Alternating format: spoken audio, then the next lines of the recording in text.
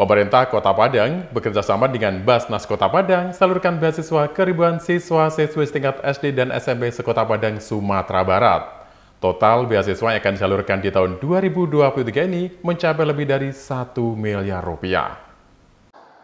Penerima beasiswa di Kota Padang pada tahun 2023 ini mencapai lebih dari 2.000 pelajar. Mereka saat ini sedang menempuh pendidikan di bangku SD dan SMP. Mereka saat ini sedang menempuh pendidikan di bangku SD dan SMP.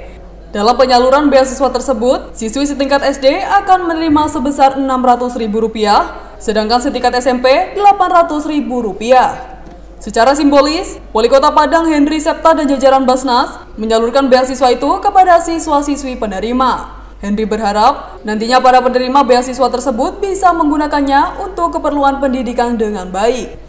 Beasiswa dari pemerintah Kota Padang yang jumlahnya mencapai 1 miliar rupiah lebih itu akan disalurkan Basnas ke Dinas Pendidikan setempat yang selanjutnya akan disalurkan ke masing-masing pelajar di setiap sekolah se-Kota Padang. Ya, Alhamdulillah hari ini, eh, tepatnya tanggal eh, 11 Oktober 2023, eh, pemerintah Kota Padang bersama Basnas Kota Padang meluncing beasiswa untuk siswa-siswi kita yang ada di bangku SD, sederajat dan SMP sederajat serta Padang. Dan ini jumlahnya 2014 anak ya. Terdiri dari 1700 lebih uh, siswa siswi yang duduk di bangku SMP sederajat dan eh maaf SD sederajat dan 300 lebih kurang yang duduk di bangku SMP sederajat. Nah ini bantuannya untuk yang siswa siswi SMP 800 ribu, yang SD negeri apa SD dan sederajatnya sebanyak 600 ribu. Ketua Basnas Kota Padang Supardi mengatakan, penyaluran beasiswa pendidikan ini bersumber dari infak dan sumbangan, serta iuran dari sebanyak 46 ribu ASN di jajaran Pemkot Padang.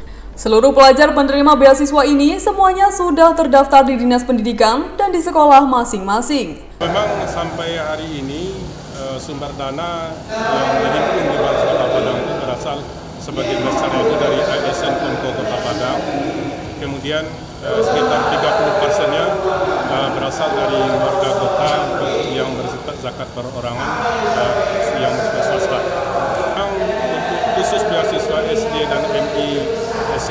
Dan MTS Negeri Dasar Kota Padang.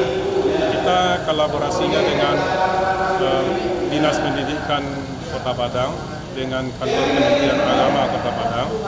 Uh, secara banyak kita serahkan kepada beliau itu untuk melanjutkan ke sekolah-sekolah.